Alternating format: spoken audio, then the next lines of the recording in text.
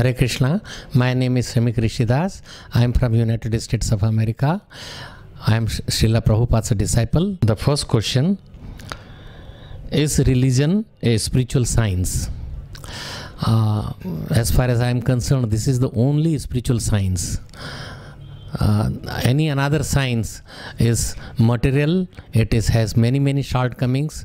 I am a medical doctor and in my profession i have seen that many medicines were approved for certain things and then they were recalled back because there were so many defects.